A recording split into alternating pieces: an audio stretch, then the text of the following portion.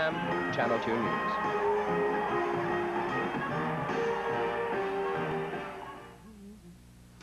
Coming up, John Coleman. 15 of those times. Justin watched the whole thing. What's a Broadway party without Helen Hayes, Ruth Gordon, and Garson Kanin? The glamorous Meryl Streep, just a few of the famous guests here to celebrate the success of Chorus Line. The glitter and the lights outside drew the crowds, hoping to get a glimpse of their favorite stars. But this was more than a party. It was sort of a family reunion. Everybody who's He said. formed in Chorus Line on Broadway or in the touring companies was invited here to take part in this special night. This actress even brought her baby. I was in chorus line in 77 out in Los Angeles at the Shubert in Los Angeles. And maybe chorus line will run long enough for Caitlin to be in it. I asked these performers why Chorus Line has been so popular. The honesty.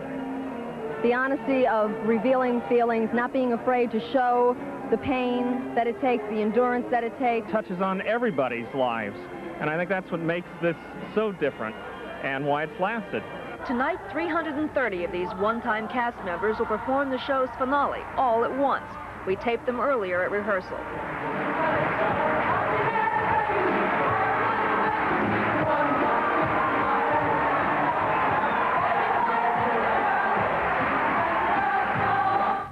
Doesn't it look great?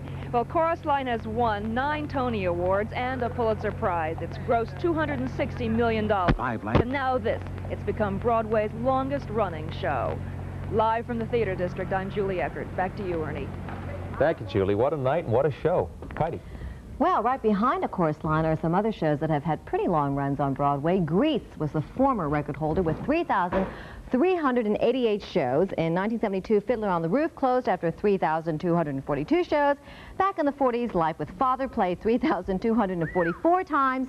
Tobacco Road lasted through 3,182 shows. You still with me? Yep. And the stars of Oh Calcutta still going strong with 2,991 performances. Did you get all that? Yeah, and making his 200 Heaviest rains will be in New Jersey, where there could be some thunder.